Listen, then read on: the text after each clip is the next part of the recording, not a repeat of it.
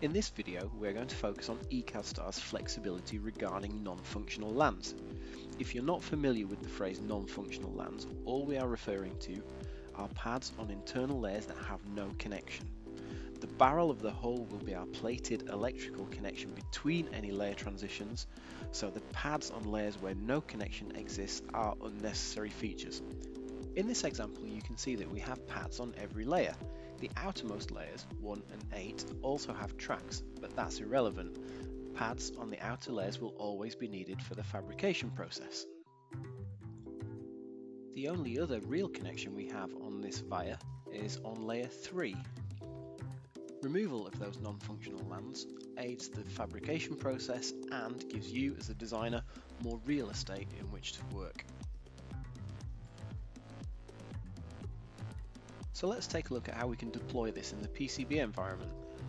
If you're unfamiliar with eCADStar, what we can see here is we have our 2D view and our 3D view. eCADStar allows both 2D and 3D to operate in real time, so it really gives you a good insight into how your pad stacks are being managed. In this first example, I deviate from my standard, my preference, which is to not have non-functional pads included, so I have to change my pad stack. I'm using my touchscreen interface to make the change, but you can drag your cursor over to this, you can configure them at net level, you can configure them at net class level, we can also define rule areas that will change the via automatically for us. Now the via is added with all pads on all layers. As you can see when I move on to the second via, it defaults back to my preference which is to not have the non-functional lands included. Now when I make connections on the second via, you will see it will only add a pad as and when a connection is needed.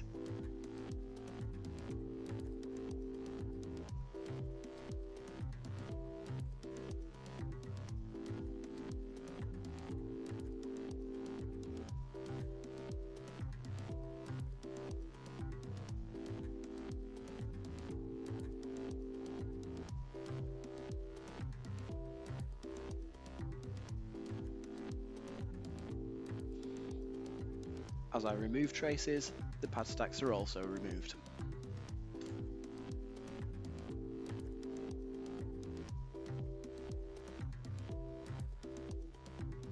Let me just drop down into the library and show you how we configure those pads. It's really simple.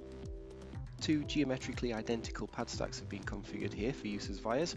One has a pad defined for internal layers and one doesn't.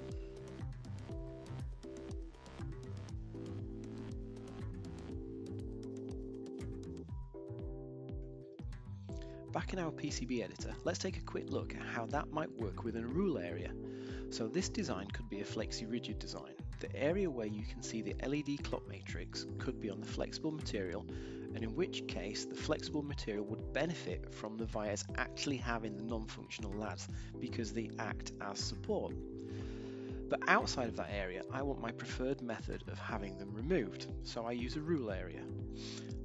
I use fan out with via in pad permitted and I route on an internal layer, as I transition the different areas, the preferred via is used. So lots of flexibility regarding via configurations and these are just eCADStar's standard via configurations outside of blind and buried vias, stacked vias and spiral vias. So remember, non-functional lands, inclusion or exclusion. Review your board requirements define your preference by design rather than post event, it will save you and your PCB fabricator time.